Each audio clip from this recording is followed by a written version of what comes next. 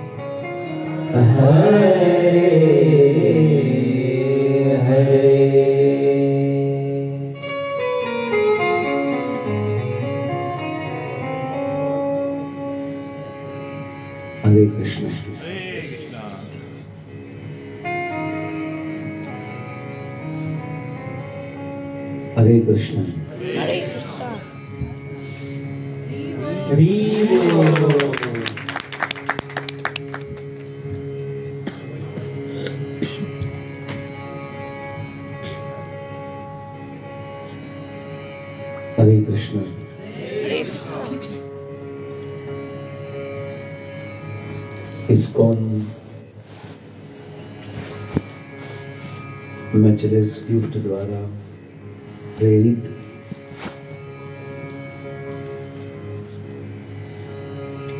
श्रीमद् भागवत सप्ताह के इस छठवें दिन पर आप सभी वैष्णव का हम हृदय से स्वागत करते हैं।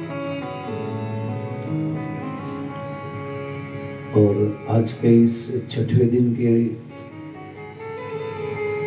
यजमान पद पर जो भी वैष्णव हैं, उनका भी हम हृदय से स्वागत करते हैं।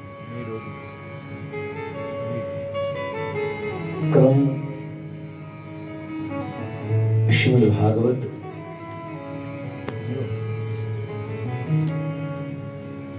और इसी अंतर्गत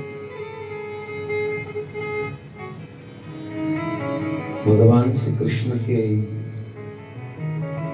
पावन पवित्र शुद्ध भक्त ध्रुव महाराज के चरित्र को हम श्रवण कर रहे हैं। एक भक्त के जीवन में जो भी आने वाली कठिनाई है, दुख है उनका सामना कैसे करें? एक भक्त का लक्ष्य जो होता है, उस लक्ष्य की प्राप्ति के लिए एक साधक के अंदर क्या दृढ़ संकल्प होना चाहिए? ध्रुव महाराज के चरित्र से हम सुनते हैं। भगवान को प्राप्त करने का, भगवान को प्राप्त करने की जो आग है तो महाराज के अंदर इतनी है कि संसार के कोई भी विषय उनको छू नहीं सकते। अगर कोई छूने का प्रयास करे तो भगवान को प्राप्त करने की आग उनको जला देती है। अर्जुन की तरह उनको लक्ष्य ही दिख रहा है। और इस लक्ष्य को रोकने के लिए अनेक अनेक डिस्टर्बेंस भी आए અને આપણે આવ્યા ડિસ્ટર્બન્સ પરંતુ દ્રઢ સંકલ્પ थे निश्चय था उत्साह था निश्चया धैर्य तत्कर्म प्रवर्तन संघ त्यागा सतकृति शरीर भक्ति सिद्धि रूप गोस्वामी के द्वारा भक्ति के पोषण करने के छह छह गुण शत प्रतिशत ध्रुव महाराज के अंदर थे। इसलिए उनको भगवान का दर्शन हुआ, भगवान की प्राप्ति हुई, भगवान की कृपा मिली। सनातन गोस्वामी बहुत सुंदर बात बताते हैं कि भागवत क्या है।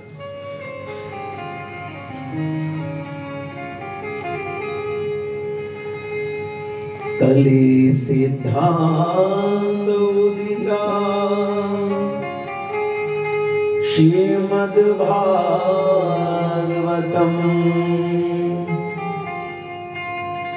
इस कलयुग के सिद्धांत को उदित करने वाला श्रीमद् भागवत है।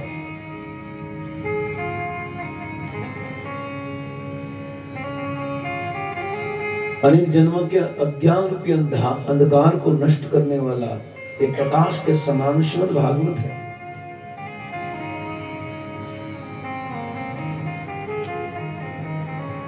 और स्वयं इस कलयुग के अंधकार को दूर कराने के लिए स्वयं भगवान ने उद्धव और मैत्री के द्वारा भागवत रूपी प्रकाश को प्रकाशित करने के लिए कहा।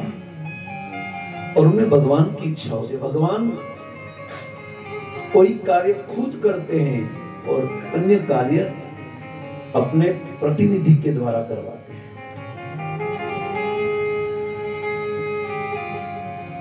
सर्व सिद्धांत उदितम श्रीमद भागवतम पुराणम। यह सभी सिद्धांत को उदित करने वाला है।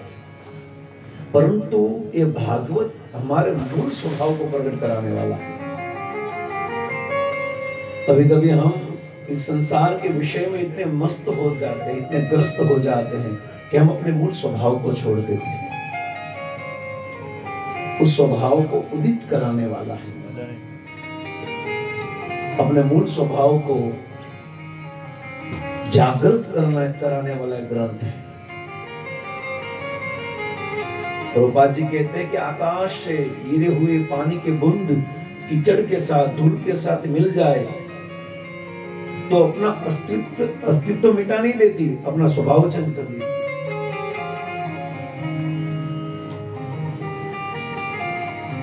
उनका अस्तित्व है ही, परंतु उनका संसर्ग संसार से होने के कारण उनके अंदर कुछ कलमश आ गया है, कुछ गंदगी आ गई है। और उनका मूल स्वभाव और मूल जो उनका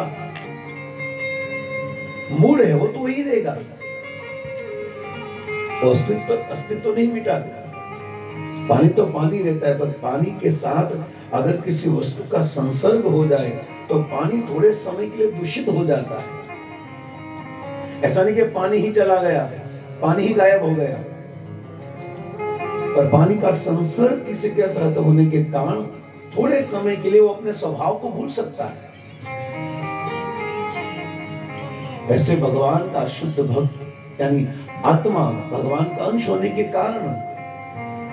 भगवान को छोड़कर जब इस भौतिक जगत के संसर्ग में आ जाते हैं तो थोड़े समय के लिए अपने स्वभाव को भूल देते हैं। अपने स्वरूप को भूल जाता है। स्वरूप भी है और स्वभाव भी। स्वरूप और स्वभाव के बिना हम आराध्य की उपासना कर ही नहीं सकते। हमारा स्वरूप सचिदानंद है और हमारा स्वभाव दास है। इस संसार में आकर सबसे पहले दो चीज़ भूल जाते हैं। स्वभाव और स्वरूप। स्वरूप भूल जाते हैं कि मैं भगवान का नहीं हूँ। मैं परिवार का हूँ, मैं अपने पत्नी का हूँ, मैं अपने पुत्र का हूँ, मैं समाज का हूँ। और स्वभाव भी भूल जाते हैं। ये सब मेरे हैं और मेरी इशारों पर चलने चाहिए। ये दो विपरीत, विपरीतता जब हमारे जीवन में आती है तो जीव भगवान से बहिर्मुख हो जाता है। इसलिए रामचरित मानस में भी तुलसीदास जी कहते हैं।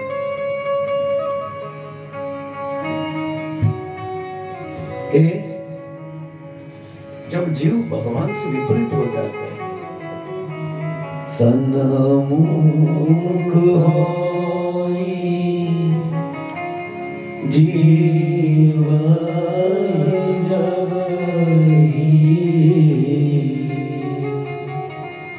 जन्म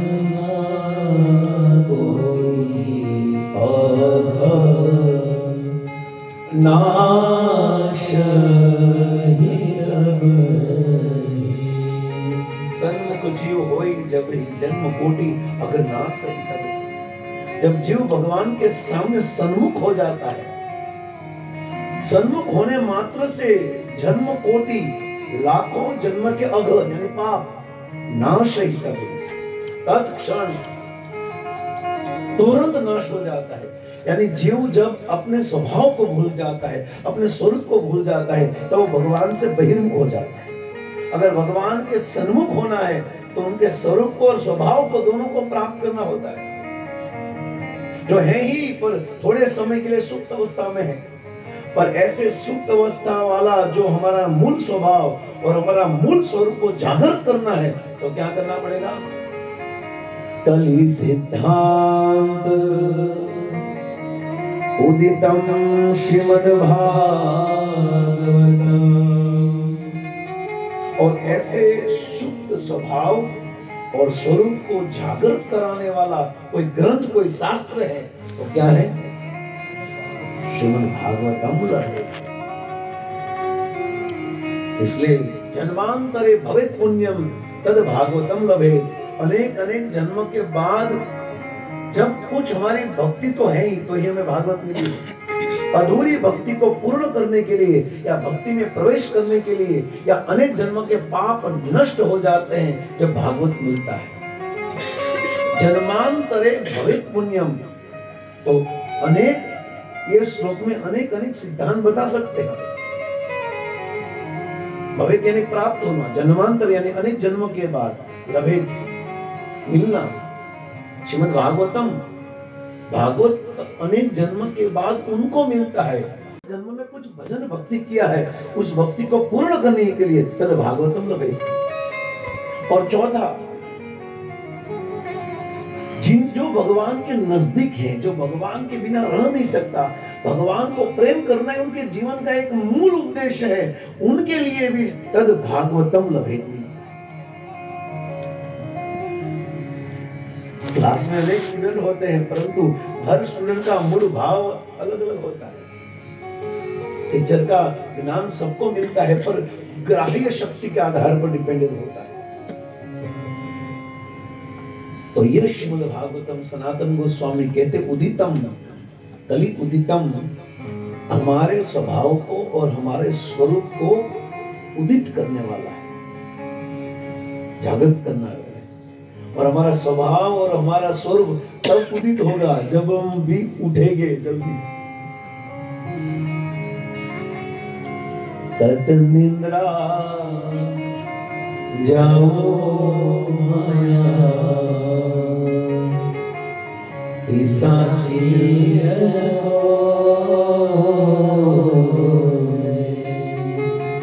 एन जी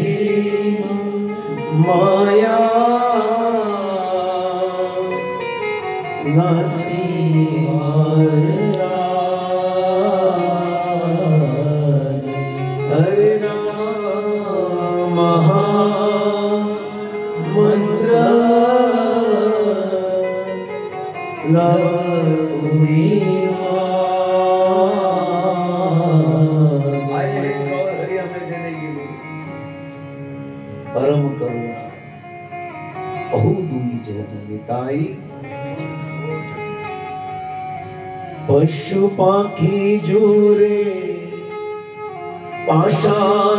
विदरे सुनियार गुण गाथा। परम करुणा बहुदूई जन निताई गौर शव अवतार सार केवल आनंद, यही हमारा स्वभाव है। और स्वभाव को प्रकट करने के लिए कौन है? स्वयं गौर अवतार सार केवल आनंद गंगा।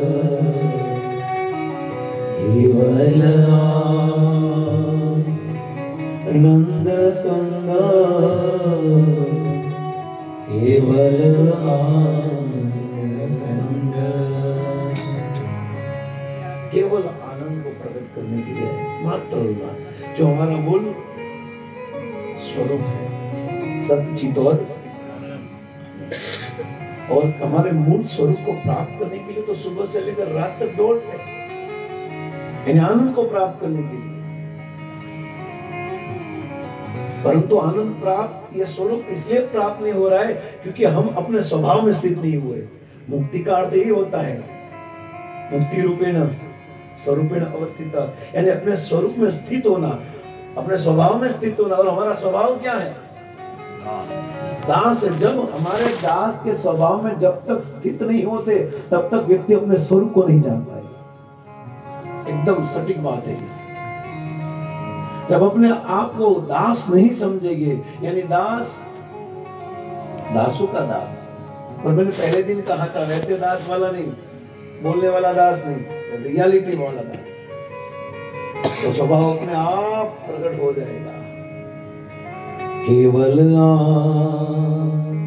आनंद कंद केवल आनंद। मात्र आनंद ही हमारा स्वभाव, आनंद में रहना ही है, क्योंकि हम जिनकी आराधना, उपासना, भजन, साधना कर रहे हैं, उनके हर एक अंग में आनंद ही बाहर निकलता है। उनका स्वभाव ही है, कृषि, कृष्ण का अर्थ ही होता है। एक ऐसी खेती जहाँ पर, एक ऐसी खेत जहाँ पर कौन सा पाक होता है? आनंद का पाक आनंद की खेती होती है कृष्ण का अर्थ ही होता है। इसलिए हम अपने स्वभाव को जब जानेंगे तो अपने स्वरूप में अपने आप स्थित हो जाए हम अपने स्वरूप को इसलिए नहीं पकड़ रहे क्योंकि हम स्वभाव से विचलित हो रहे और देखिए, कितने समय हम अपने आप को दास समझ रहे हैं। उतने समय हम अपने स्वरूप अवस्था में स्थित है। उतने समय मुक्त है। यानी उतना समय काल का प्रभाव हम पर नहीं है।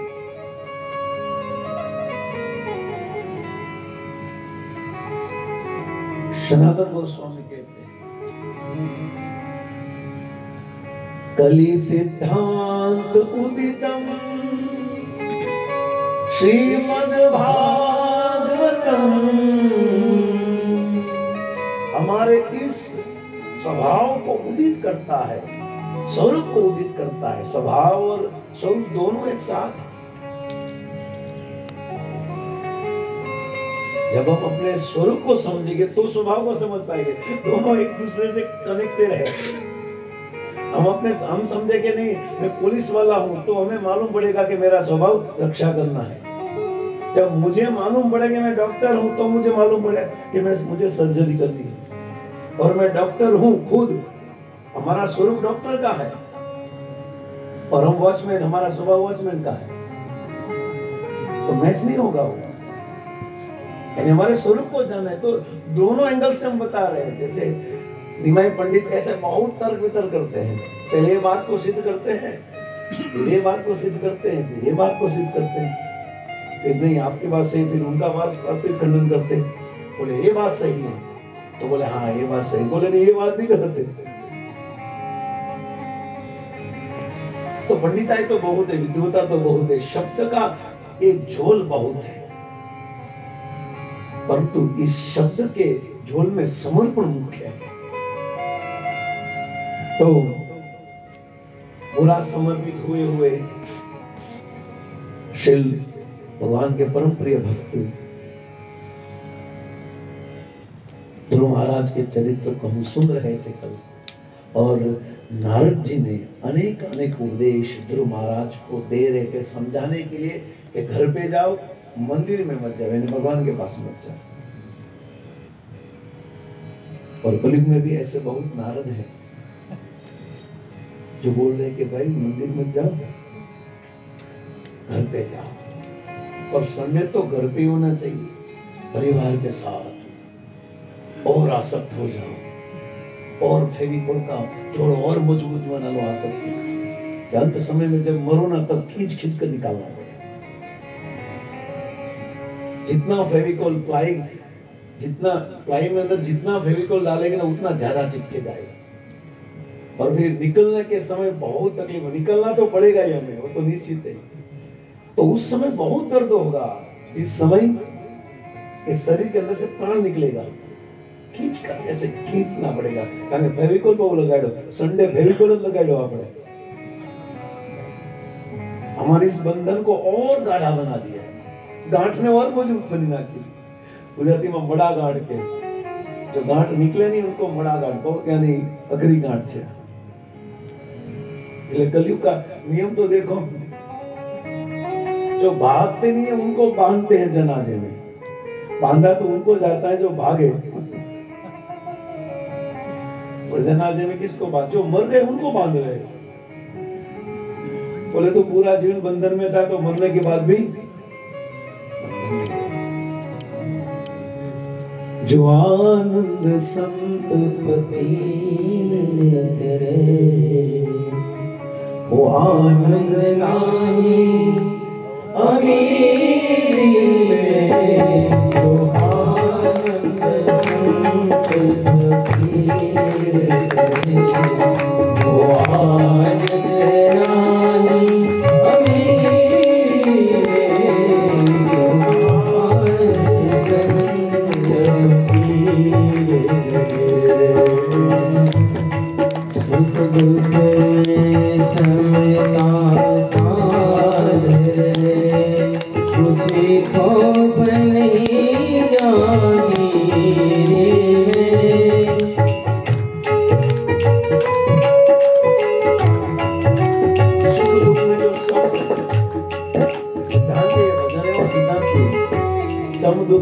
सुख और दुख में क्या रहे?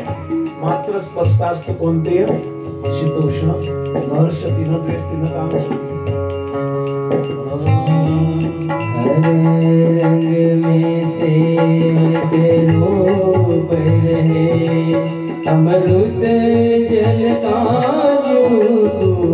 सत धर्म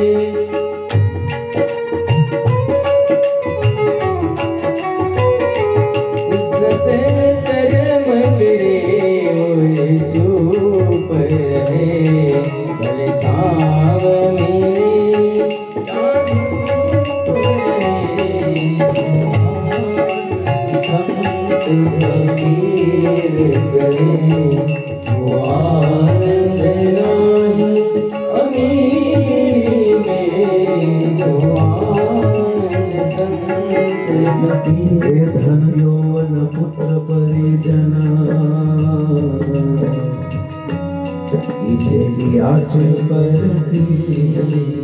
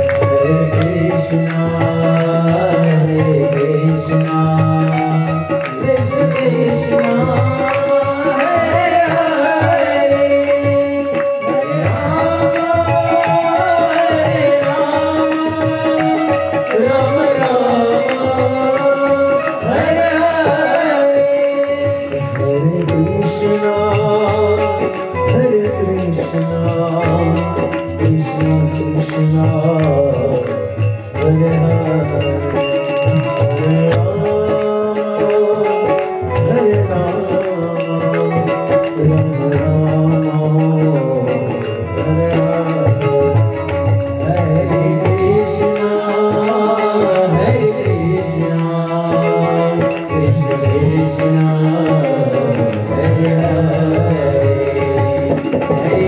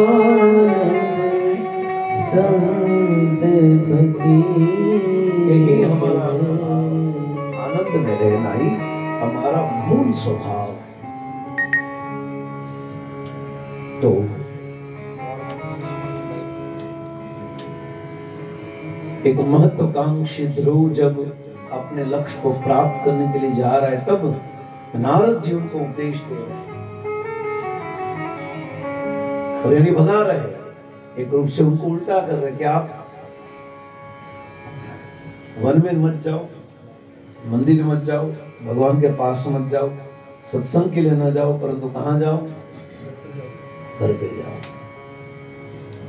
આ ઘર જ મજા એવું છે અને એમાં રવિવાર તો પ્રભુજી દસ અગિયાર વાગ્યા સુધી આ હા હા इतना बढ़िया नींद आता है और ये सब हमारे प्रभु जी सुबह उठा रहे मंदिर मंगला में आने मंगला में उनको क्या मालूम नींद में कितनी मजा है मैं आपको बताऊं नींद सोने के बाद ये तो बताओ कौन सी मज़ा है, वो तो बताओ मैं। सोने के बाद व्यक्ति अपने आप को, अपने स्वभाव को, अपने स्वरूप को सब कुछ भूल जाता है, यानी मृत हो जाता है। मरना और सोना दोनों समान है। परंतु व्यक्ति ज़िंदा रहने से उनको मरना अच्छा लगता है, इसलिए तो ज़्यादा सोता है। जीवित क्यों रहे? उससे क्या मर रहे और उतना समय हमारे जीवन में से निकल रहा है। सुबह का समय कभी भी निंद्रा में मत डाल। सुबह का समय हमने जो निंद्रा में डाल दिया ना तो बहुत बड़ा लॉस हो रहा है। बहुत बड़ा लॉस हो रहा है। साधक भक्त की बात कर रहा हूँ और जो न वो धीरे धीरे मूल्य समझे समय। यहाँ पर नारद जी बता रहे हैं। गुरु महाराज अतो निवर्ता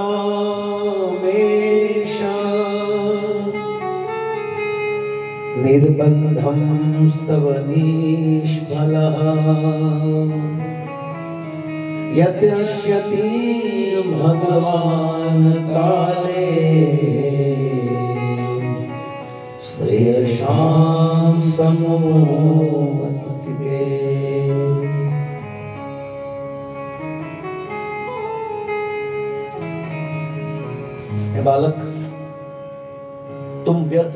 प्रयास मत करो। आप निष्फल हो गए भजन जब करेंगे, पूरी दुनिया एक साथ कहेगी कि आप ये मत करो। मत करो। आप हार जाओगे उससे अच्छा जी लो। मौज मस्ती से जी लो, कोई भरोसा नहीं, इसलिए आनंद से जी लो आप। इसमें कुछ मिलने वाला नहीं, भजन कीर्तन में। हो गए सब। यानी जब हमें कोई ऐसी चीज़ कहे कि भजन, भक्ति, साधना या साधु संग या कथा, प्रवचन, सेवा करने की ज़रूरत नहीं है। तो समझ लो, भगवान ही किसी व्यक्ति के माध्यम से मैं बता रहे हैं। समझ जाइए आप।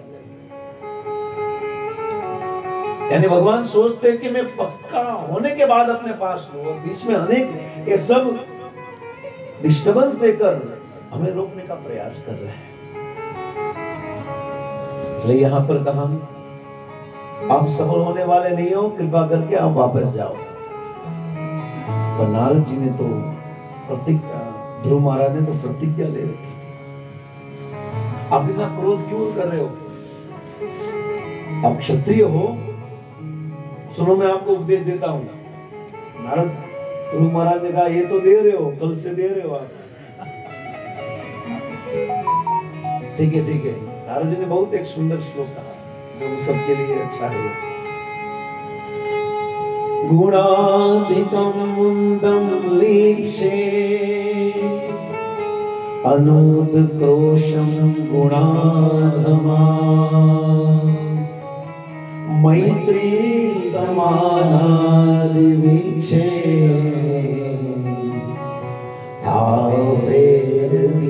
को कैसे डीलिंग करनी चाहिए? ये बता रहे अगर देखा जाए, ये श्लोक जो नारद जी बीच में डाल रहे हैं ना, ये कोई कनेक्शन नहीं है।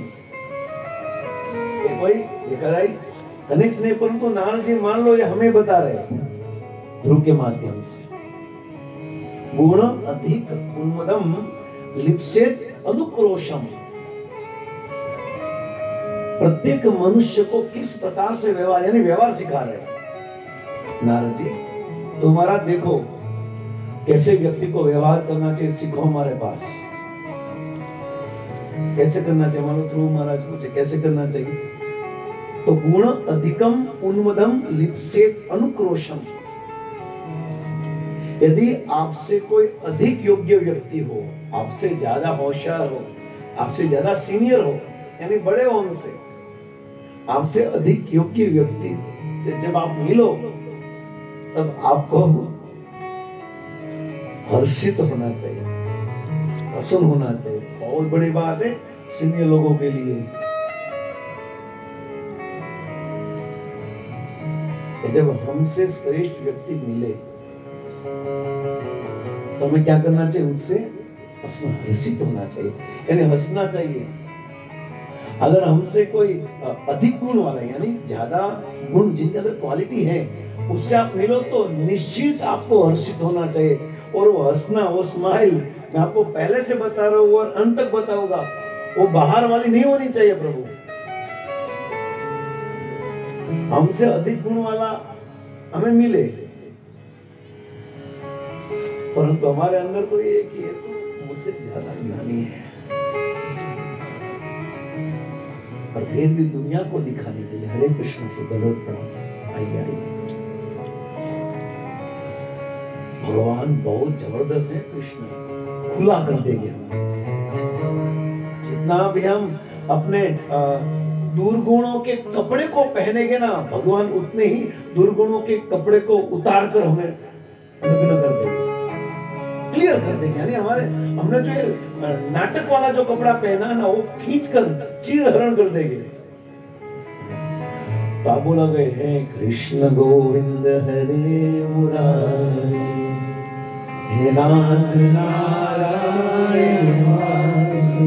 जब दुनिया वाले चीरहरण करेंगे तो कृष्ण बचाने के लिए आएँगे।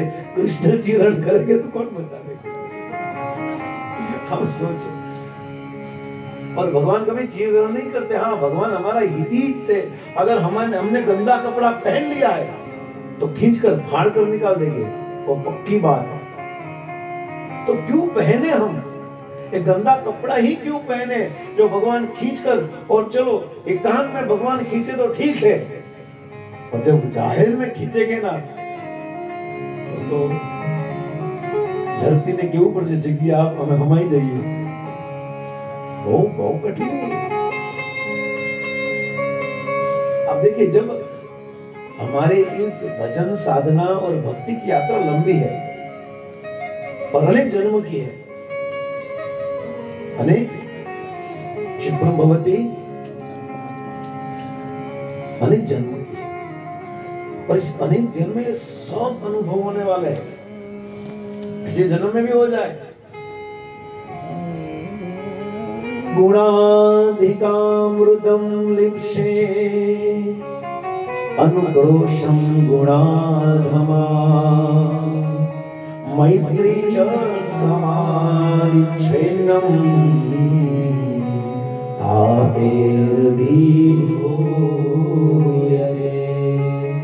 हमसे अधिक गुण वाला जो होता है, ध्रुव, उससे मिलने से हर्षित होना चाहिए। तो ये कहाँ कनेक्शन है ध्रुव महाराज के श्लोक को? दे रहे, फिर भी। यानी ध्रुव महाराज क्या कर रहे थे? दुखी थे ना? तो एक दुखी अवस्था अवस्था वाले ध्रुव महाराज को सिखा रहे कि कैसे व्यवहार करना चाहिए। कि हमारे जो अधिक गुण वाले, उनके साथ क्या करो आप? उनको देखकर हर्षित उनको देखकर स्माइल करो। और यदि मैत्री च समान, अगर हमारे समान गुण वाले व्यक्ति मिले, हमारे समान गुण वाले व्यक्ति मिले तो क्या करना चाहिए? मैत्री। मैत्री व्यवहार करना चाहिए। उनके साथ मित्रता करनी चाहिए तो समान गुण वाले हैं। यदि अनुक्रोशम गुण अधमात, परंतु अगर कोई निम्न गुण वाला हमें मिले, हमारे समा, हमारे अधिक गुण वाले के साथ हर्षित हो, उनको सम्मान दो, हमारे समान गुण वाले को साथ मित्रता करो। और हमसे थोड़े गुण नीचे हैं, उन पर दया करो, उन पर कृपा करो। उनके प्रति सहानुभूति प्रकट करो।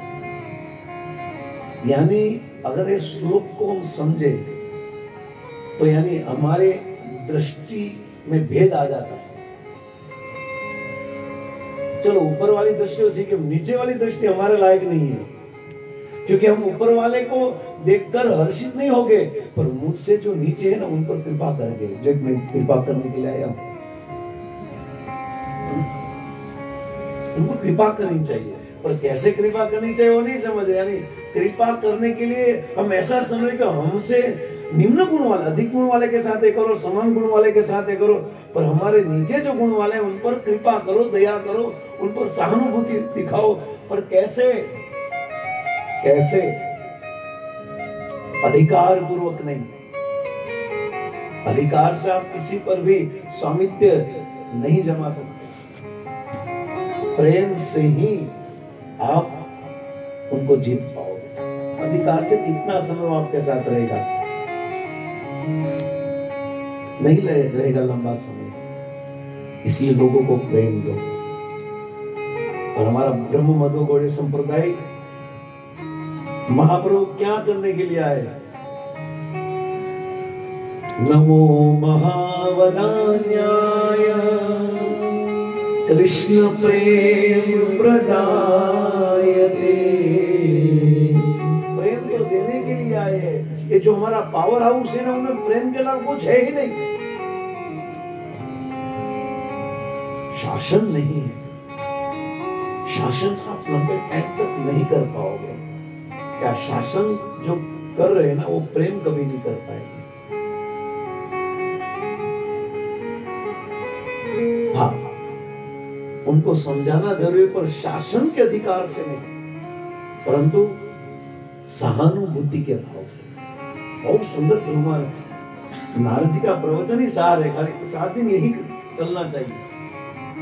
वो तो कल बहुत भागा दौड़ी थी भाई। तो साढ़े बारह, एक बजे आराम से हम सोए। हाँ दो बजे, प्रभु जी दो बजे। कल दरोज दस वागे जागे ना?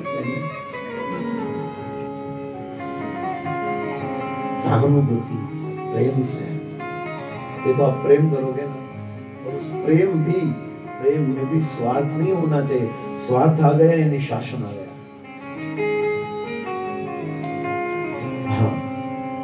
ज़रूरत है तो समझाना चाहिए। ऐसा नहीं कि फिर प्रेम से फिर ज़रूरत पड़े तो फिर टकोर भी मारना चाहिए। ऐसा नहीं है। पर उस टकोर में प्रेम होना चाहिए बस। प्रभुपा जी ने अपने शिष्य को धो डाला है। भूखा काढ़ी ना कहते प्रभुपा जी। पर वो अंदर से उनका हित था और उनके अंदर उनका प्रेम, उनका हित था और अंदर उनके अंदर प्रेम था। बहुत मुख्य वस्तु है। वैष्णव के साथ डीलिंग करने का इसलिए सहानुभूति अपने समान ये भगवान कृष्ण के लीला काल में हम देखते हैं कि भगवान ने ये श्लोक भगवान कृष्ण ने अपने जीवन में बराबर उतारा और हमें सिखाया है कि भगवान कृष्ण, युधिष्ठिर महाराज और भीम को प्रणाम करते थे। ये जो बड़े थे और अर्जुन के था अर्जुन के साथ मित्रता थी और नकुल सहदेव के साथ सहानुभूति थी एक वैष्णव का व्यवहार ऐसा होना चाहिए यहाँ पर बता रहे हैं नारद जी कि देख बेटा ऐसा व्यवहार करो अब ध्रुव महाराज ने कहा કે બરાબર તમારું બધું પ્રવચન સારું મને બહુ બઢિયા પ્રવચન પણ ઉતારવાનું ઉતારશું નહીં તમે કિતના ભી અચ્છા દો પ્રવચન બાકી સુધરી ગયે કારણ કે વોટર પ્રૂફ થઈને બેઠા છે કિતના ભી કૃપા રૂપી અમૃત छिड़काओ आप या डोल भरी नाखो तो भी कुछ होने वाला है ध्रुव महाराज को भी एक भी शब्द नारद जी का सुन रहे थे जैसे हम बढ़िया सुन रहे हैं सुन रहे तो उतारવાનું हमारे लिए थोड़ा થોડા પ્રવચન નહીં તો બાજુવાળા માટે છે. मैं तो सर्वगुण संपन्न हूँ मुझे मैं तो परम वैष्णव हूँ सवारे मंगल आरती में ब्रह्म हरे कृष्ण हरे कृष्ण मंगल आरती में सब कुछ बढ़िया है मेरे लिए नहीं है ये तो जो मंगल आरती नहीं आ रहे जो सेवा नहीं कर रहे समर्पण नहीं है जिनका ये तो उनके लिए मारे का ज़रूर है उनको ही सबसे ज़्यादा ज़रूरत है। ध्रुव महाराज के शब्द ध्रुव महाराज सुन रहे थे नारद जी के, फिर ध्रुव महाराज ने कहा कि बराबर अब ध्रुव महाराज ने नारद जी को उत्तर दे रहे थे, ध्रुव उवाच सोऽयं सो समो भगवता, सुख दुख हतात्मना। दर्शितं कृपया पुंसा। दुदर्शास्वमिधेशुतः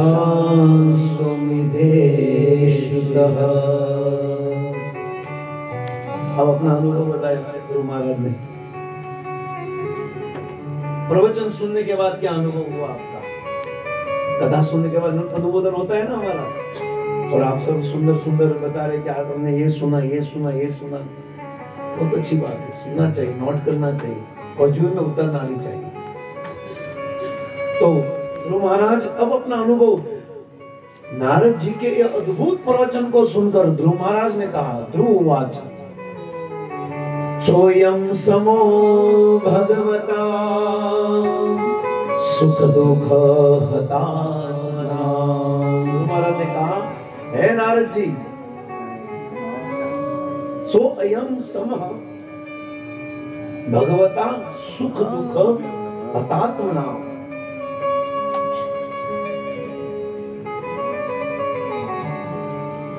आपने मेरे हृदय को, मेरे मन को शांत करने के लिए जो कुछ भी कहा, सो सो अयम भगवतो, जो भी कहा, सुख दुख आत्मना मेरे दुख को दूर करने के लिए आपने जो भी कुछ कहा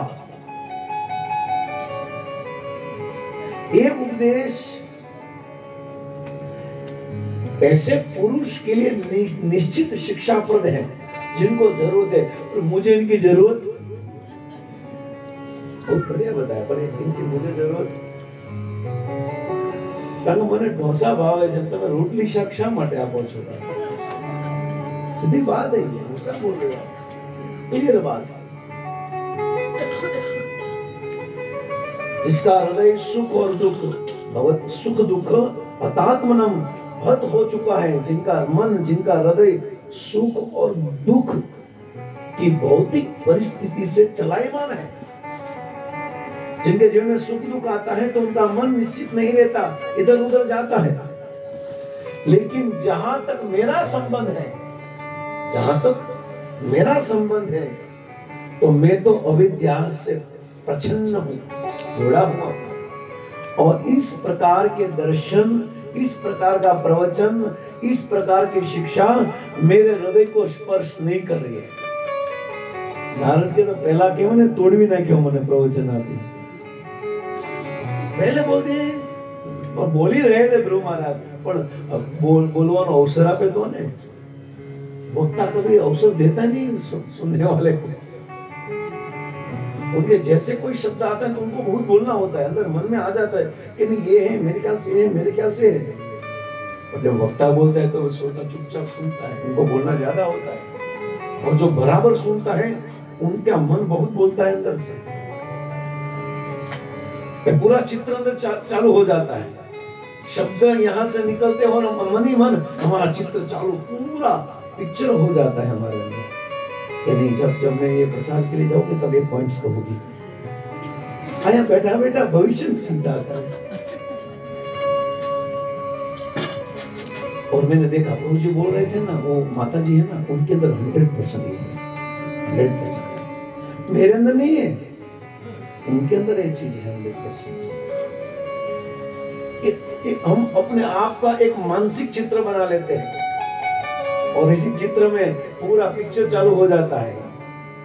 पर कनेक्शन कथा का रहता है, उस कथा के शब्द को लेकर हम उस शब्द को अपने जिस जिसके अंदर गुण है, दुर्गुण है, उनके अंदर डाल रहे हैं। देखो ये यहाँ बैठकर यही कथा में अभिनिवेश है। यही कथा में प्रवेश है। इनका सत्य बोला जाए तो क्या है? कथा में यही महाराज कुल शेखर ऐसे ही कथा सुनने के लिए कहा। आपके प्रवचन कोई भी मेरे हृदय को टच नहीं हुआ, प्रभु। बहुत अच्छा किया आपने प्रवचन, पर हृदय स्पर्श नहीं हुआ। और नारद जी अंदर बोल रहे कि बेटा, तुझे टच करवा भी करवाना भी नहीं था।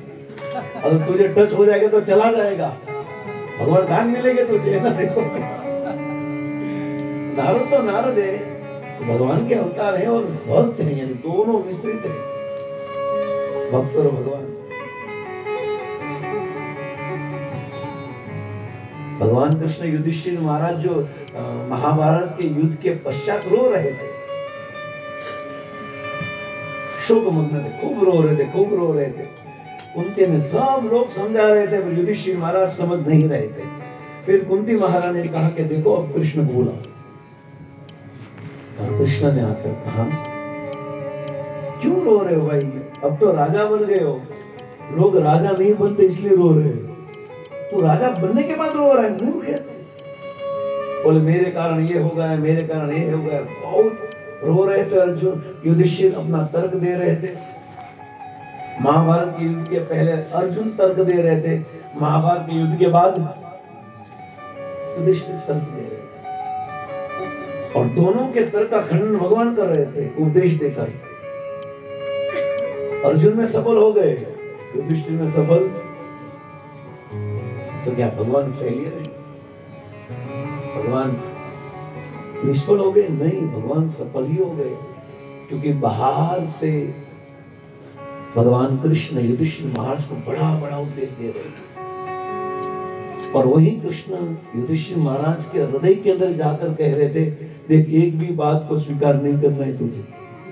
भले वो बोले, द्वारकाधीश तो बोलना है उनका काम है। पर तू लेना मत मन में। दोनों ओर से कृष्ण ही बोल रहे और कृष्ण ही सुन रहे बस बेचारा माध्यम कौन बना है? ऐसे हम सब माध्यम ही बने सब कराने वाले कौन है? करते हो तुम कन्हैया। मेरा नाम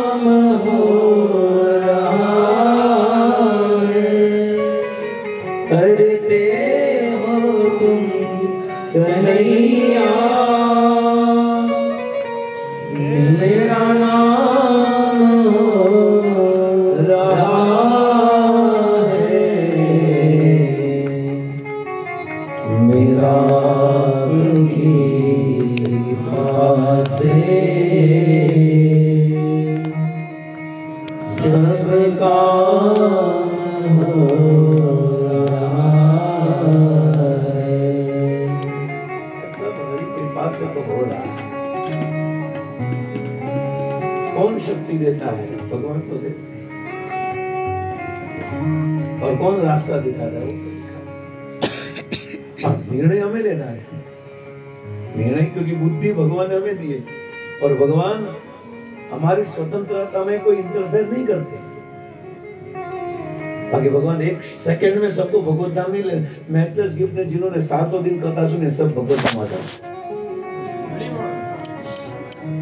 हरि बोल बोलते वो जाना किसी को नहीं है। व्यापारी आएगा तो जाना है, ऑफ़िस जाना है। है ऐसा थोड़ा भले बाहर से तो एकदम प्रभु जी, शीघ्र शीघ्र। सुबह बोलते मैं तो देखता हूँ सबके सामने। शीघ्र शीघ्र अभीष्ट सिद्धि प्राप्ति हो, जो कहे श्री कृष्ण। हमें लगेगा कि सोलह माला के बाद तुरंत उनके लिए फ़्लाइट आएगी वैकुंठ और माला पहले ही गाड़ी में चाबी लगा भाग गया तो बहुत दूर पतवार के बिना ही मेरी नाव चल रही है पतवार तो है पर तो भगवान ने लगाया ऐसा मत समझो कि अपने आप सब चल रहा है बाई चांस ऐसा बोलते ना अपने आप नहीं चल रहा है, भगवान ही सब चल रहा है।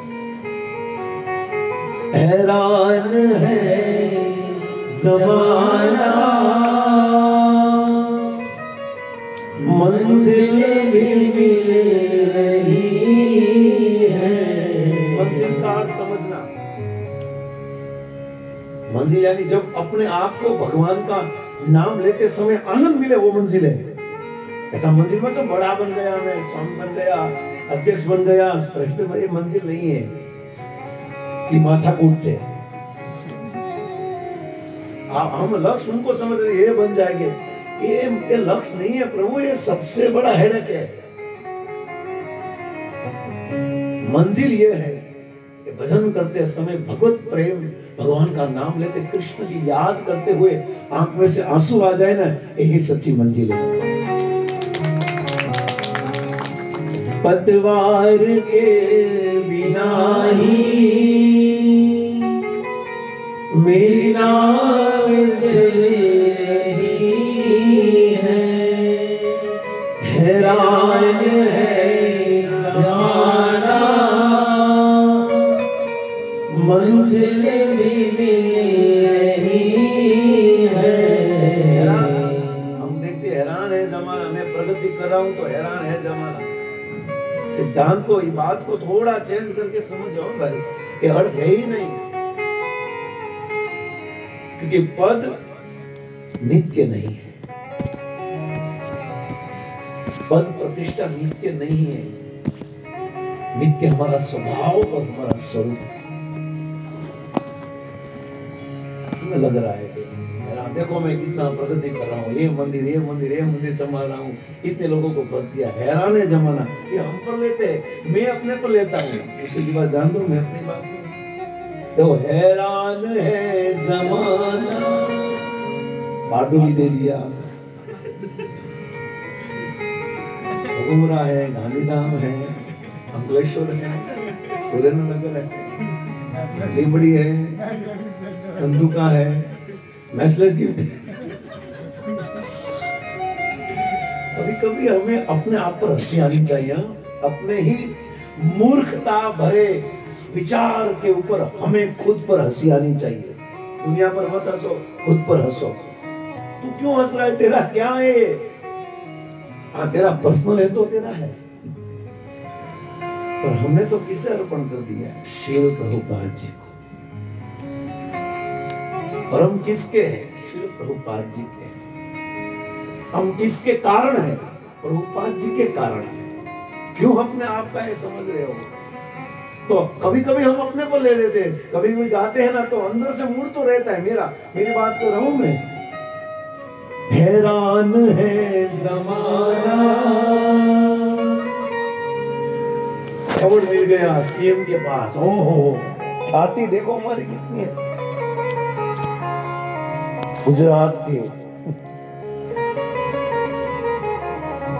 उन्होंने दे दिया। एक छोटी छोटी छोटी बात है। सबसे बड़ी भयंकर बात है हमारे। हमारा है ही नहीं प्रभु। ये तो हमें दिया है पतवार के बिना ही। मेरी नाव, यानी पतवार तो कृष्ण ने ही दिया है।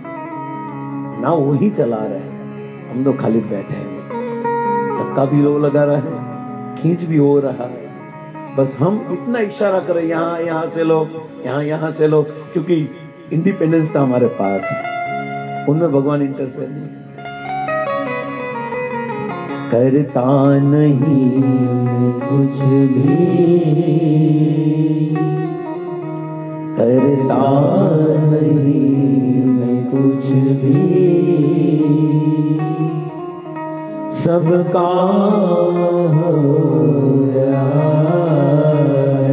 भगवान जितनी भी ऊंचाई देते हैं, वो चाहे वो चाहे तो किसी भी समय नीचे भी गिरा सकते हैं। इसलिए हम नीचे ही रहे, ऊपर न जाए। तो जितना ऊपर जाएगा ना, उतनी चोट ज़्यादा लगेगी, नीचे गिरने से। तो नीचे ही है, उनको कोई टेंशन ही नहीं। दुख दर्द तो उनको होगा ना, कि जो बहुत ऊपर चढ़ गए हैं। कभी भी हर्ष शोक मत रखो। आज सब कुछ है कल नहीं है। ये लक्ष्य नहीं है हमारा। ध्रुव महाराज ने यही कहा नारद जी को, आपका भाषण बहुत बढ़िया है। हैरान है जमाना, मंजिल भी ले रही है। आपका प्रवचन बहुत बढ़िया है, पर मेरे लिए मेरे लिए कुछ मेरी इच्छा अलग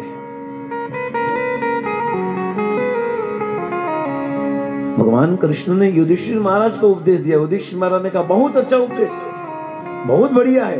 अर्जुन को जो सुना है, वही सुने पर ये मेरे लिए, ये शब्द मेरे हृदय पर कोई प्रभाव नहीं कर रहा है। कोई मेरा हृदय प्रभावित नहीं हो रहा है। वो हंड्रेड परसेंट नहीं हो रहा है। और तब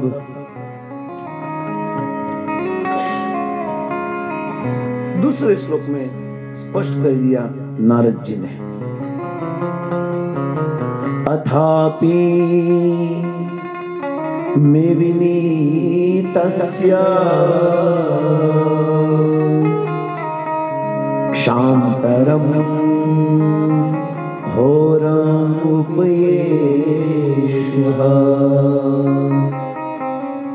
सुरज्या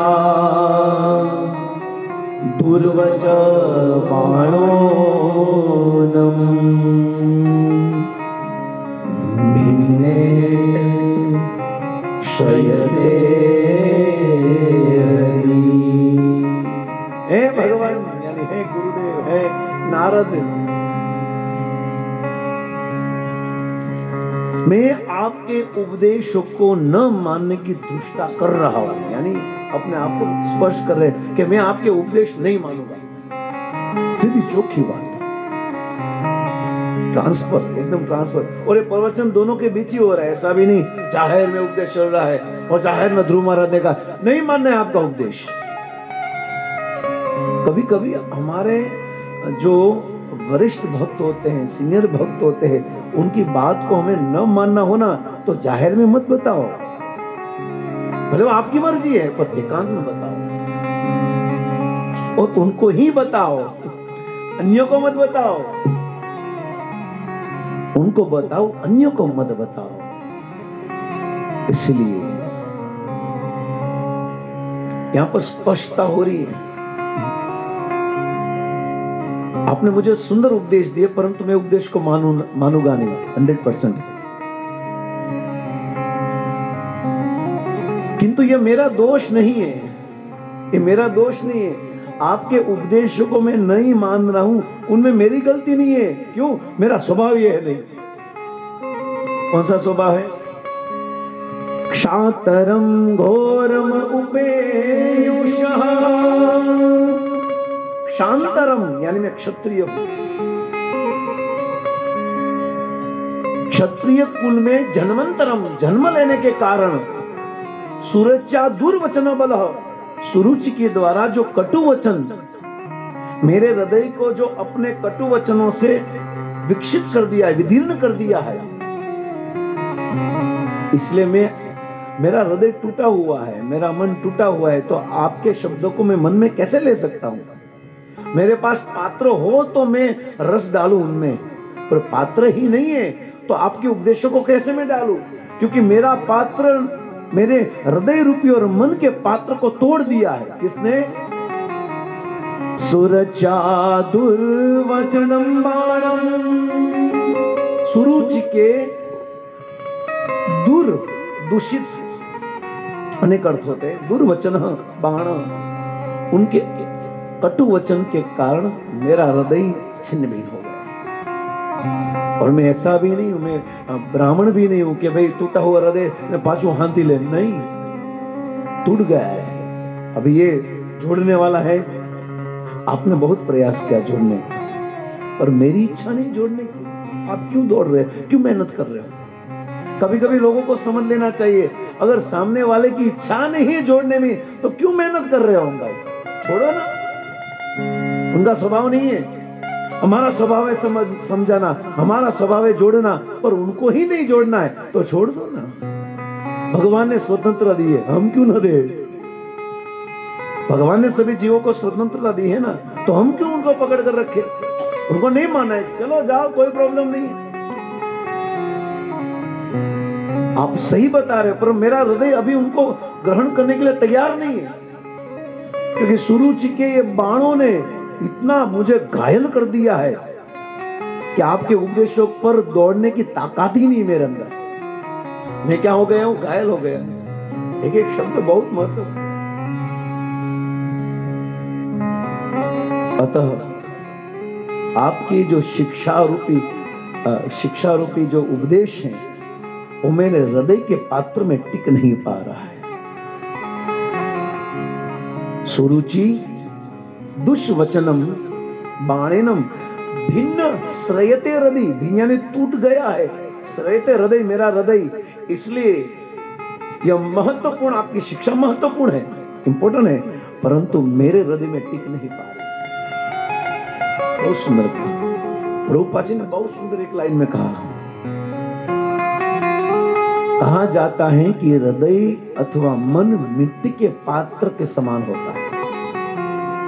पहली लाइन में तात्पर्य की पहली लाइन में कहा कि हमारा हृदय और मन मन और हृदय मिट्टी के पात्र के समान होता है और एक बार टूट जाए तो फिर किसी भी प्रकार से नहीं जोड़ा जा सकता। कितना कनेक्टेड कर है प्रभुपा जी इस लोग के साथ। इसलिए नहीं जुड़ पाएगा। सॉरी प्रभु जी। और इसी बात को और शिल प्रभुपा जी क्लियर बता रहे हैं। चतुर्मणियम मया सुष्टम गुण कर्म।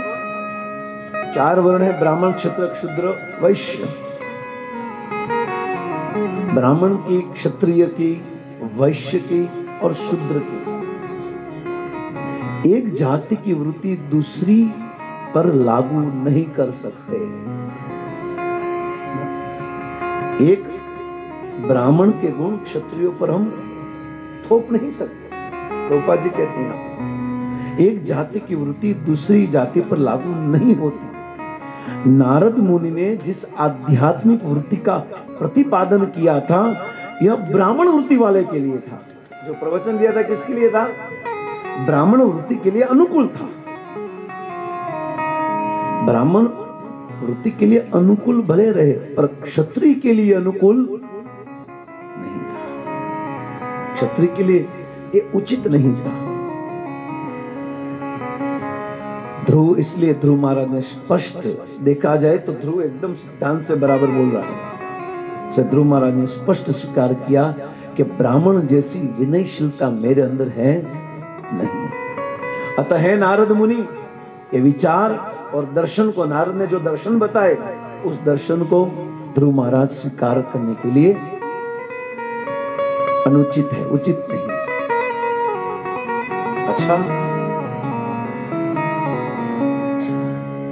इसलिए अंतिम श्लोक ध्रुव महाराज ने कहा। पदम त्रिभुवनम उत्कृष्टम जिगीषो साधुवात्मने। स्मृति पितृग ब्रह्मन् अन्ययनम् अधिष्ठितम्। हे ब्रह्मन, हे ब्राह्मण, मैं ऐसा पद अभी डिज़ायर बताइए आपने जो बताया, वो सेट नहीं हो रहा है। मुझे डोसा खाना है और आप रोटी और सब्ज़ी की बात कर रहे हो। सेट ही नहीं हो रहा है। अभी यहाँ पर क्लियर बता रहे कि आप जो मुझे खाना यानी जो उपदेश देना चाहते हो, वो मुझे पसंद नहीं, मुझे पसंद अलग है। और आप उल्टा बता रहे हो, मुझे खाना ये है और आप मुझे ज़बरदस्ती खिला रहे हो। यहाँ पर किया। पदम त्रिभुवनम उत्कृष्टम उत्कृष्ट यानी श्रेष्ठ। पदम यानी पद प्रतिष्ठा। वो मुझे पद चाहिए जो त्रिभुवनम उत्कृष्टम। जो तीनों लोकों से तीनों लोक से भी श्रेष्ठ हो ओहो अभी बता रहे કે તમે બહુ નારદજી બહુ નાની વાત કરો છો મારી ઈચ્છા તો બહુ મોટી છે પદમ ઉત્કૃષ્ટમ त्रिभुवनम जिज्ञेश है साधु वर्त में मेरी इच्छा यह है अच्छा तीनों लोकों में, तीनों लोकों में जो जो पद हैं, जिन, जिनका लेवल है, उससे भी बड़ा पद चाहिए। यानी मान लो ध्रुव महाराज की इच्छा कि चौदह भुवन में कोई भी चीज़ प्राप्त करने की नहीं थी। यानी अलौकिक थी। देखो, अगर चौदह भुवन में कुछ मांगते तो कुछ क्या होता कि वो भौतिक चीज़ कही जाती है। पर ये क्या कहा है? पदम त्रिभुवन उत्कृष्टम मुझे तीनों लोकों से श्रेष्ठ चाहिए। यानी तीनों लोग यानी भौतिक जगत से परे, यानी अल्टीमेट ध्रुव महाराज आध्यात्मिक चीज़ ही मांग रहे हैं। लौकिक नहीं मांग रहे, अलौकिक ही मांग रहे अगर हम गहराई से देखें तो हाँ लग रहा है कि भौतिक चीज़ मांग रहे परंतु उनकी जो डिमांड है, उनकी जो मांग है, वो बहुत ऊँची है। इस संसार की है ही नहीं। यानी उनको ये संसार का पद नहीं चाहिए। यानी उनको ये संसार में रहना ही नहीं है। उनको कहा जाना है उनकी इच्छा तो अलग है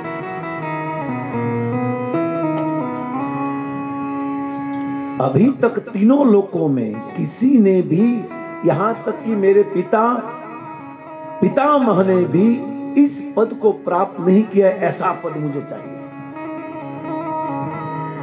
પિતા કોણ છે અને એના બાપા કોણ છે અને દાદા कौन से? यानी इससे परे चाहिए। अब सोचो। यानी देखा जाए तो ब्रह्मा जी की जो डिमांड भगवान के सामने थी, उससे श्रेष्ठ डिमांड ध्रुव की है। और दास दास दास अनुदास बापा बापा बापा ना बापा। ऐसे है ना, ऐसे देखा जाए तो। यदि आप कृपा करें कृपा करके मुझे सत्य मार्ग की सलाह दे। अगर आपको मालूम है कि मुझे पद कहाँ मिलेगा, या जो मेरी डिमांड है वो मुझे कहाँ मिलेगी, अगर आप जानते हो तो प्लीज़ सेंड लोकेशन। तो आप कृपा करके मुझे मोबाइल में लोकेशन भेज दीजिए। मैं उसी रास्ते से चला जाऊँगा, चिंता मत करो। अपने पास अच्छे ताकत। वो मेरे रास्ते अगर नहीं है तो आप अपने रास्ता पकड़ो। डिस्टर्ब मत करो। मेरा मोरल यानी जो महत्व, इच्छा जो है, उनको तोड़ो मत। कभी कभी भजन वाल, करने वाले को बहुत लोग तोड़ते हैं। तो मुझे तोड़ो मत। रास्ता मालूम है तो बताओ, वरना चले जाओ। बाप रे। नारद ने भी सोचा होगा, हानि करता तो प्रहलाद हरो होता। प्रहलाद ने तो माता के घर में ही भजन किया था। अच्छा है। शिष्य जितना कम बोले, वही अच्छा है। ये तो बहुत ज़्यादा बोल रहा है। प्रहलाद महाराज तो चुपचाप कयादू के घर में पूरी भागवत नारद के पास सुन रहे थे। पर आ तो हमें फड़ाका मारे थे। ये नहीं, ये है, वो है वो है। पर शिष्य तो ऐसा ही होना चाहिए। है ना?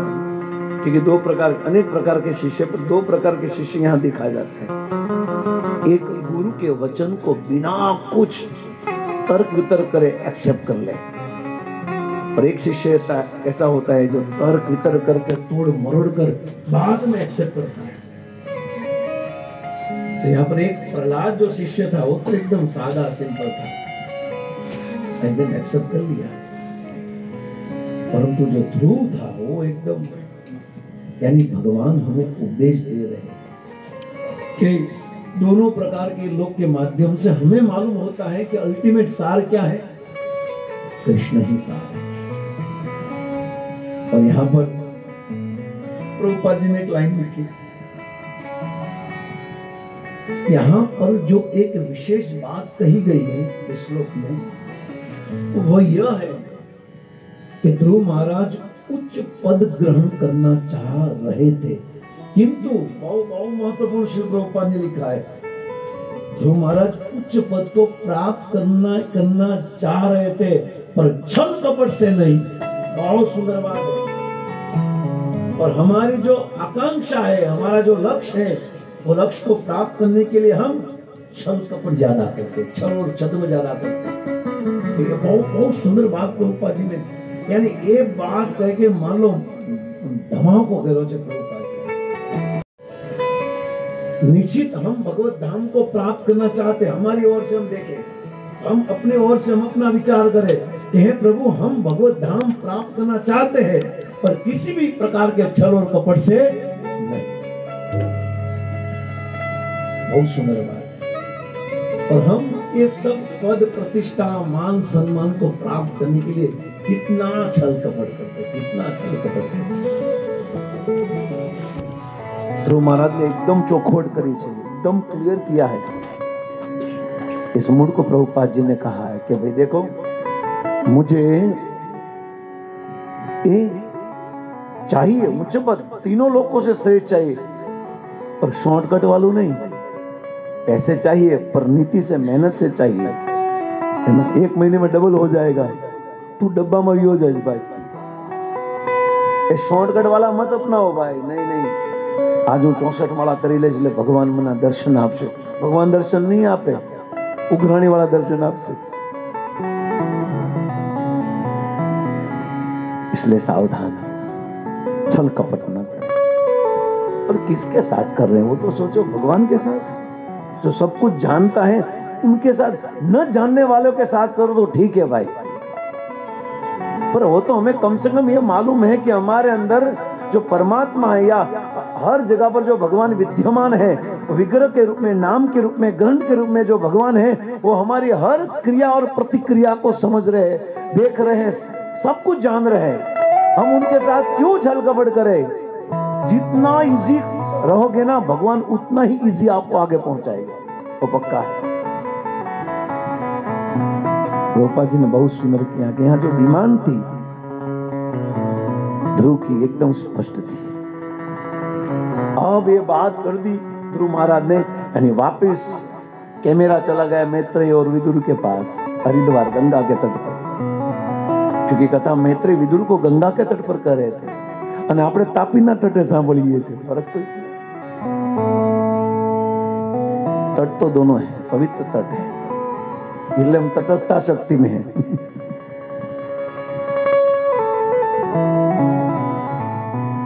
क्या करें मैत्र जी ने बहुत सुंदर बताया।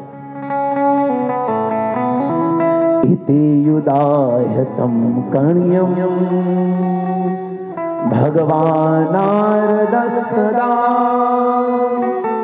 प्रीतः प्रत्याहं तं बालम्।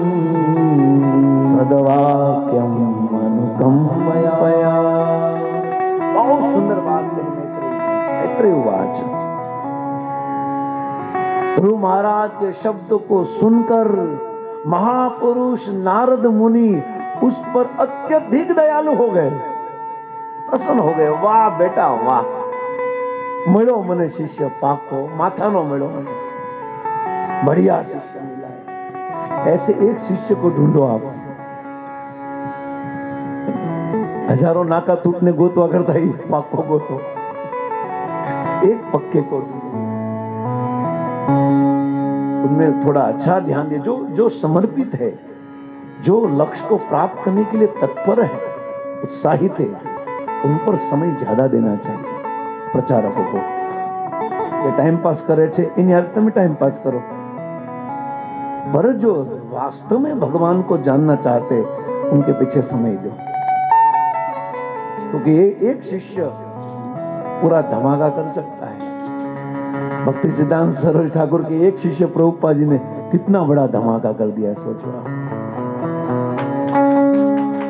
वैसे हम भी प्रयास करें कि जो ऐसे हैं, भक्ति में अग्रसर है, उत्साहित है, उनको समय दें।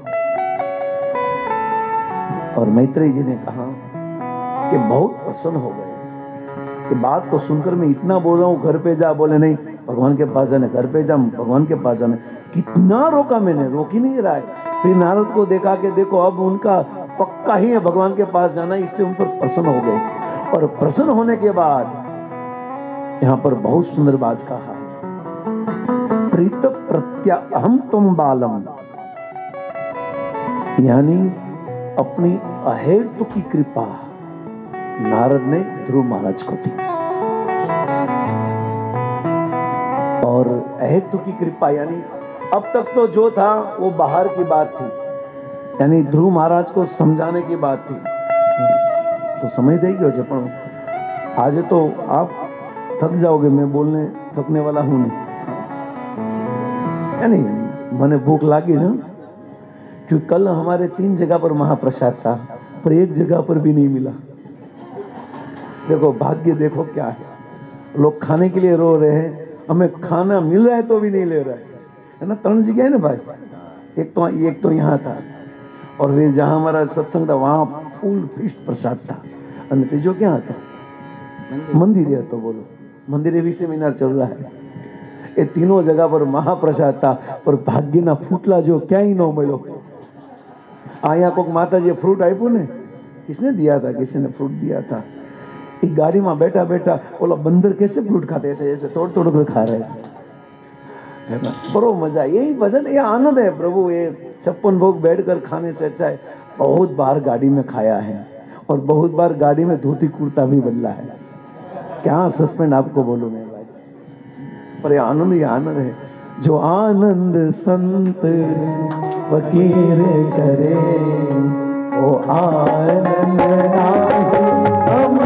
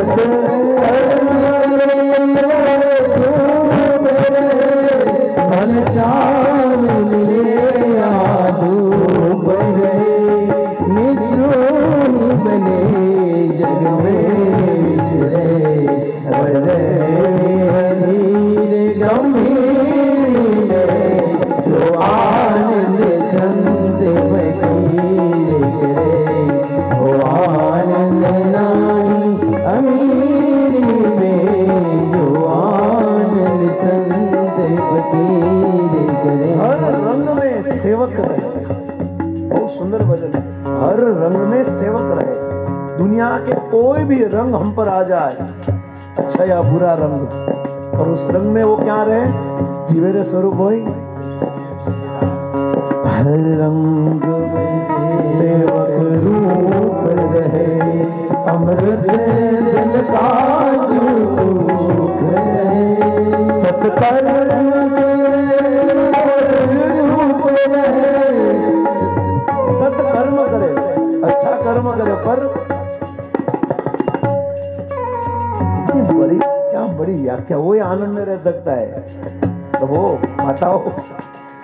सत्कर्म करे और भले छाव मिले या धूप मिले।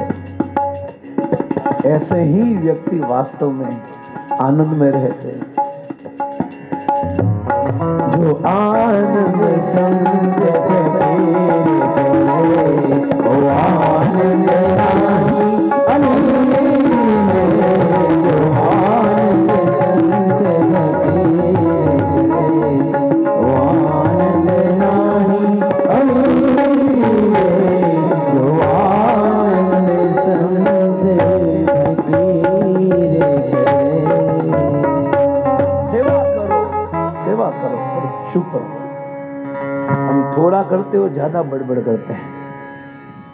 ज़्यादा करो, चुप रहो। वो ही परमानेंट आनंद में रह सकता है भाई। यहाँ पर ध्रुव महाराज, मैत्री जी ने कहा कि ध्रुव महाराज ने जब नारद जी को मना कर दिया तो नारद जी उन पर बहुत कृपा हुई, उनके अंदर अहेतु की कृपा प्रदान की। और जब अहेतु की प्रदान, कृपा प्रदान करने के बाद खाली आशीर्वाद नहीं दिया फिजिकली आशीर्वाद नहीं दिया परंतु शब्द से भी, उपदेश से भी नारद ने ध्रुव को कहा कि बेटा क्या करना चाहिए? क्या कहा नारद जी ने? नारद उवाच। श्लोक में।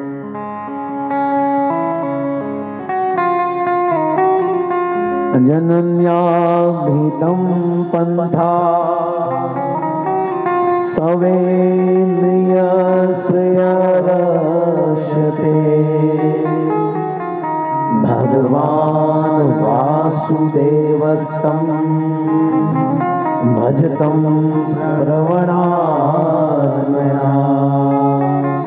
पहली बात सिद्धि ध्रुव महाराज को कहा कि बेटा मैं तुझ पर खुश हूँ और तुझे जो चाहिए, तुझे जो प्राप्त करना है, वो मैं बताता हूँ कहाँ मिलेगा।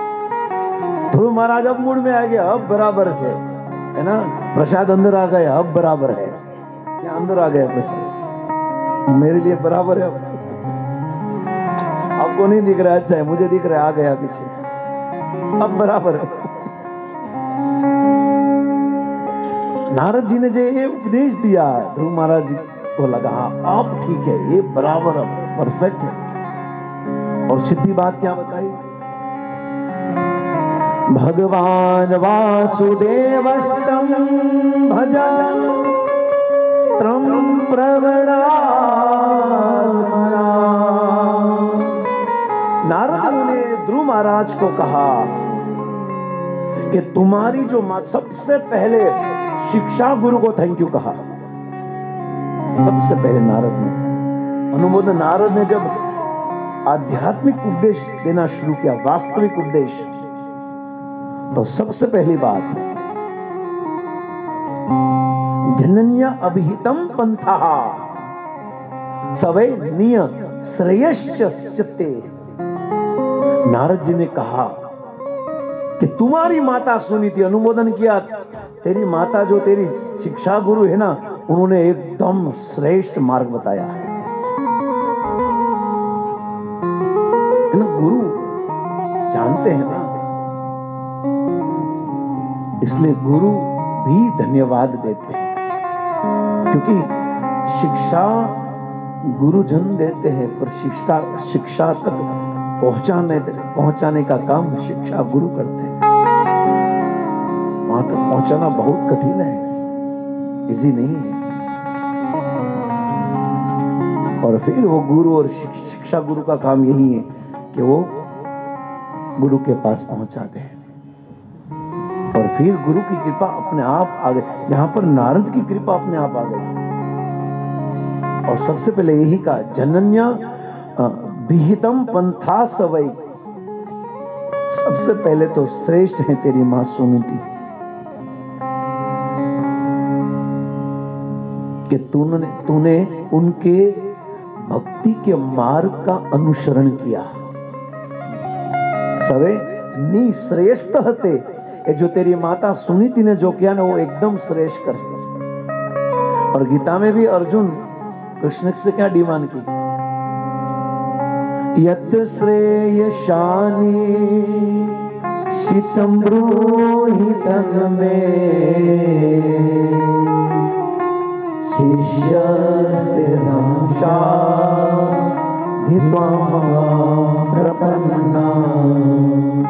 श्रेयस्कर प्रयस्कर नहीं परंतु श्रेयस्कर और यहाँ पर भी कहते, सवे निह श्रेयस्यस्यते तेरी माता सुनीति ने जो मार्ग बताया ना, भक्ति का मार्ग, बेस्ट श्रेयस है और तूने उस मार्ग का अनुसरण भी किया।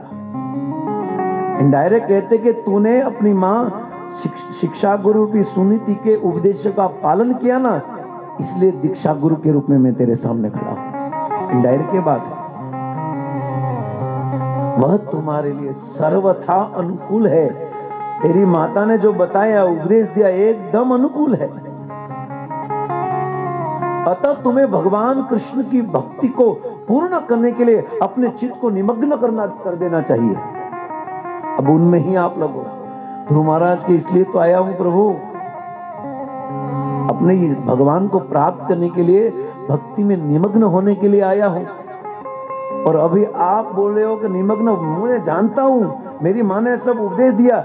अब बताओ, पहुँचे कैसे? वो बताओ, कहा जाए? આખું ગામ પડ્યું છે આખું જંગલ जाऊ क्या? जाना कहा है वो बताओ। अब अगले श्लोक में कहते हैं।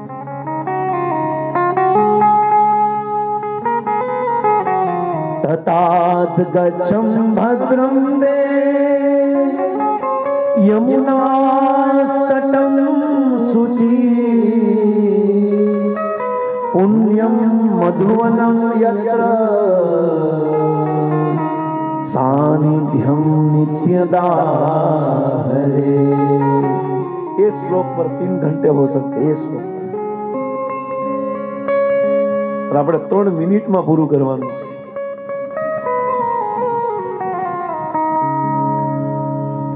तत्। तत् तात। तात तात। यानी पुत्र। है पुत्र तत्। यानी उस गच्छ, जाओ, भद्रम, उस स्थान पर जहाँ तेरा कल्याण हो। ते, तू कहाँ पर? यमुना, यमुनाश्च तटम। यमुना के तट पर जाओ। यमुना के तट पर जाओ। तटम सूची, जो शुद्ध स्थान है, पवित्र स्थान है। यमुना का तट तो बहुत बड़ा है, पर स्पेशल एड्रेस आपको क्या जाओ पुण्यम मधुवनम यत्र, सानिध्यम नित्यदा हरे यमुना के तट पर भी एक मधुवन है। वो मधुवन में जाओ यत्र क्यों सानिध्य मधुवन का सानिध्य करो क्योंकि सा- नित्यदा हरि वहां पर हरि नित्य है भगवान कृष्ण वहां रहते हैं यानी एड्रेस दे दिया બરાબર લોકેશન આપી દીધું છે હવે પરફેક્ટ આપી દીધું છે અને ધ્રુવનું નેટ શરૂ થઈ ગયું છે હવે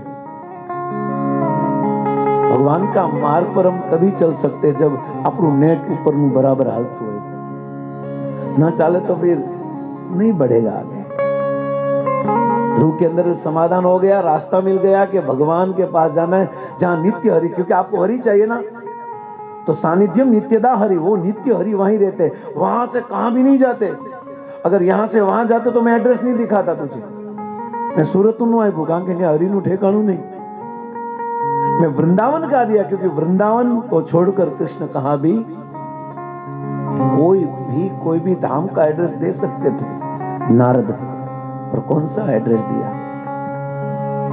तत तत्ताद गच्छम ते भद्रम यमुना तटम शुचि। मधुवनम पुण्यम मधुवनम यत्र सानिध्यम नित्यदाहारी। जाओ वहाँ पर, नित्य हरि का वास है।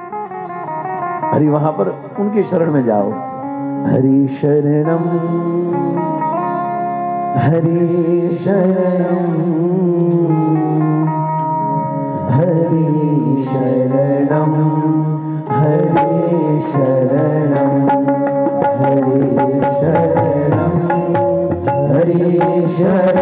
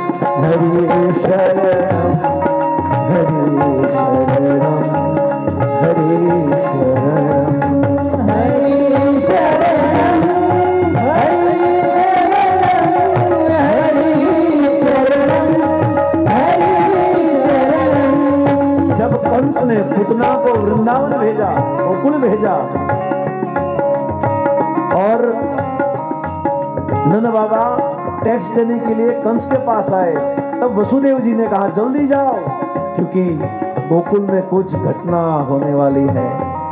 और तब नंद बाबा ने कहा कि हे प्रभु, कुछ गलत घट न जाए। इसलिए उस समय सुखदेव जी ने देखा कि नंद बाबा ने भी किसकी शरण ली? हरी शरणम हरी शरणम हरि शरणम हरि शरणम हरि शरणं हरि शरणं। हरि हस्तिनापुर की सभा में द्रौपदी का चिरहरण हो रहा था और सबके पास गई, पर कहा भी उनको समाधान प्राप्त नहीं हुआ। और जब उनको लगा कि अब सब दरवाज़ा बंद हो गया है, तब हरि का दरवाज़ा खुला होकर हाथ उठाकर कहा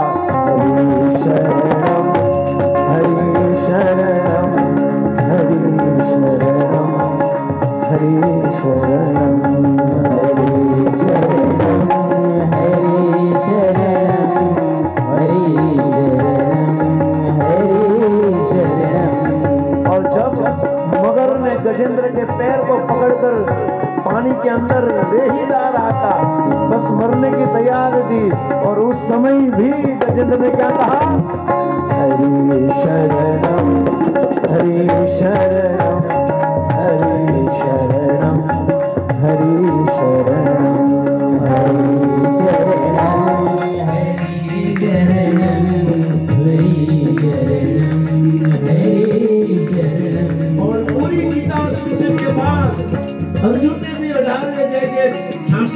में क्या कहा? सर्वधर्म परित्यज्य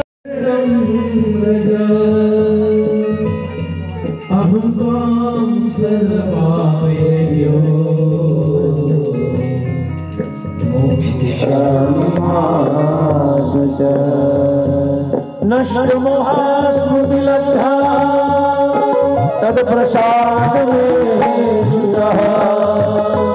स्थितोऽस्मि गत संदेह करिष्ये वचनं हरि शरणं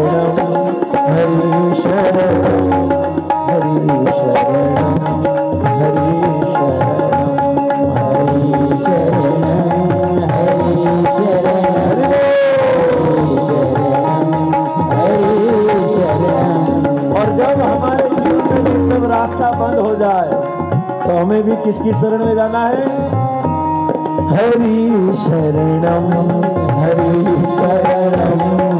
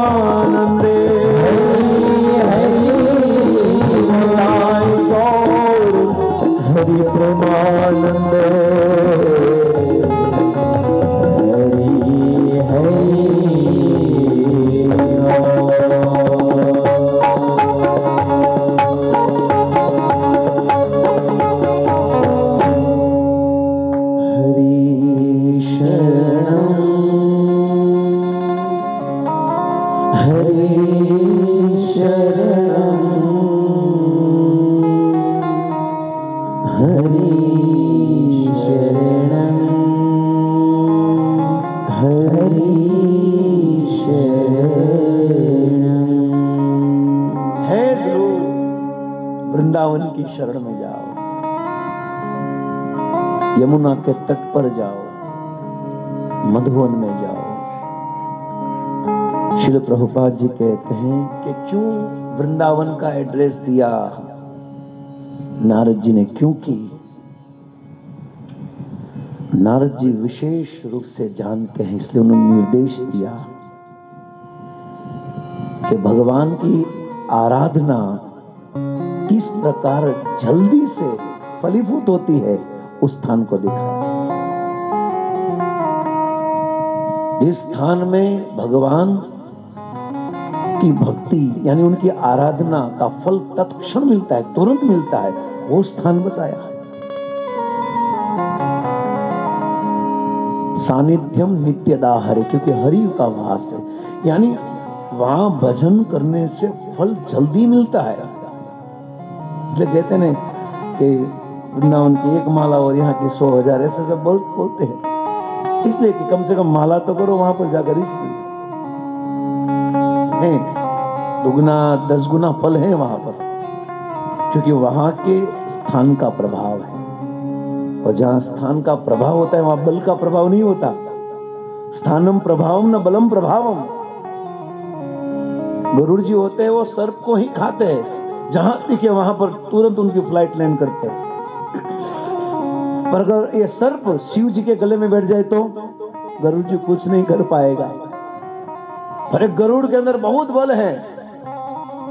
परंतु सर्प ने अगर भगवान शिव जी के गले का आश्रय ले लिया, आश्रय ले लिया, शरण ले लिया तो गरुड़ भी कुछ नहीं कर पाएगा। वैसे अगर हमने गुरु को शरण में आ गए गुरु की शरण ले ली तो माया भी हमारा कुछ बिगाड़ नहीं पाएगी।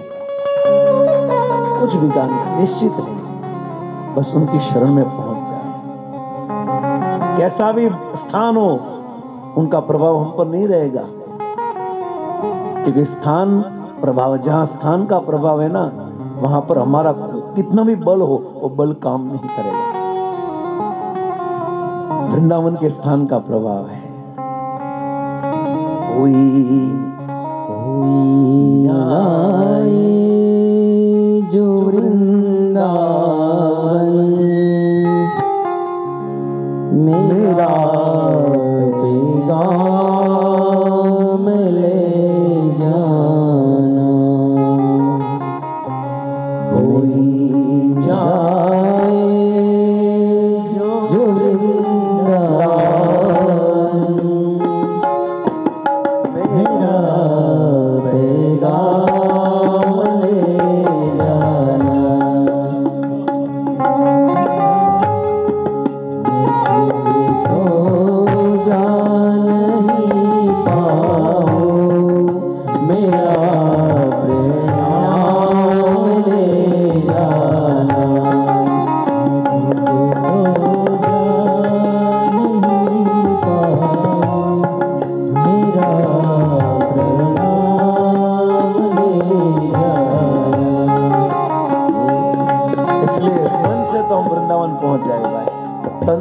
सकते वो नजीक से, बार कलक में पहुँचे जैसे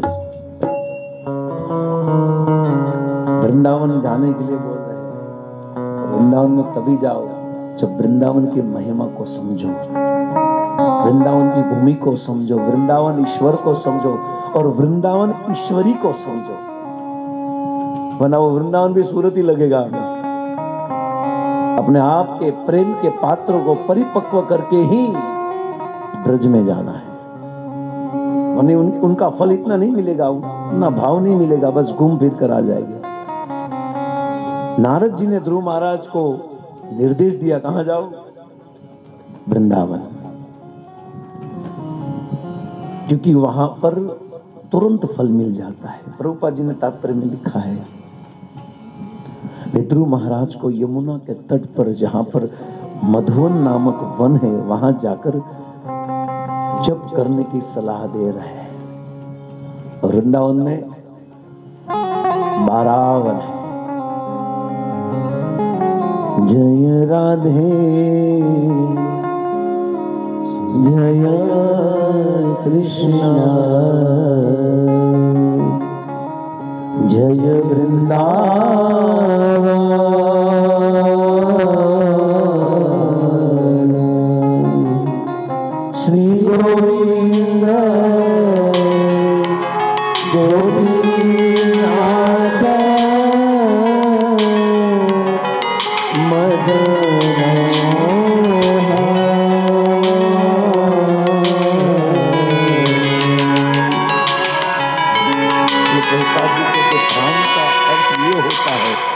जहाँ पर भगवान कृष्ण का तत्सम संपर्क हो जाए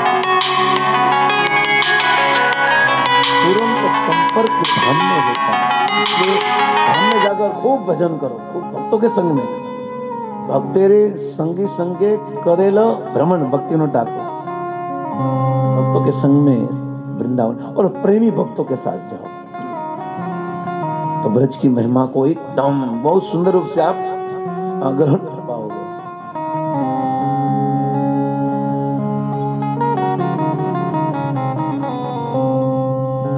योजयोज्व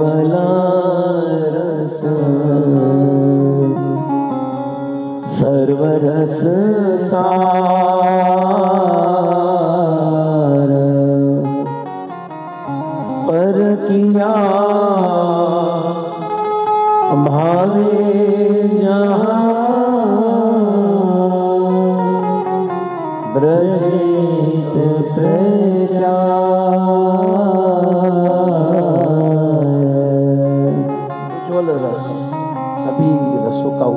रस वहाँ पर है। सभी रसों का सार वहाँ है। क्योंकि वहाँ पर भगवान ने परकीय भाव का आस्वादन किया। है परकीय भाव का आस्वादन ब्रज में किया है भगवान ने।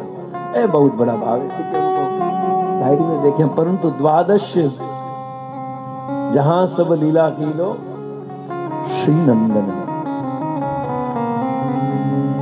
बारह वनों में से एक वन कहा है। प्रभुपाद जी ने बारह वनों का नाम दिया है। तात्पर्य यमुना के जो पूर्वी तट पर है, वहाँ पर पाँच वन है। उनमें से भद्रवन, बिल्वम, लोहवन भांडीरवन और महावन। और फिर पश्चिमी तट पर सात वन है। प्रभुपाद जी ने कितने उसमें है मधुवन, तालवन, कुमुदवन, बहुलावन, काम्यवन खदीरवन और वृंदावन। कोई जाए जो वृंदावन मेरा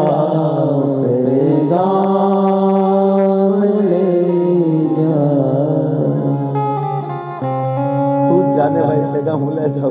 तू ही जा, कितना सरल तो यमुना के जो पश्चिमी तट पर जो वन है। उनमें से एक मधुवन भी है और वृंदावन में भी है। और नारद जी ने कहा कि जाओ आप वहाँ पर। यमुना के तट पर, कालिंदी के जल में तुम नित्य स्नान करो, तीन बार स्नान करो। और जल, पवित्र जल से स्वच्छ हो जाओ। और स्नान के पश्चात अष्टांग योग के आवश्यक अनुष्ठान करके शांत मुद्रा से आसन पर बैठो और एक मिट्टी से भगवान के विग्रह को तैयार करो। और फिर